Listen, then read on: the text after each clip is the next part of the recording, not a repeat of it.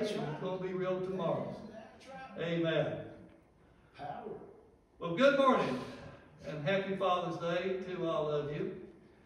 Second, uh, 1 Corinthians chapter 13 and 11.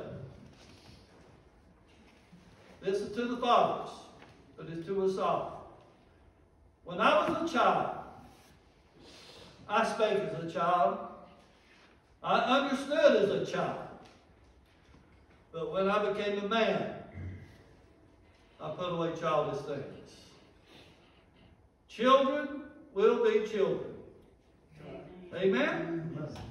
Amen. Most of us have had children. That's what makes us a dad.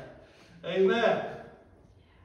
But when we look at what Paul was saying in this scripture,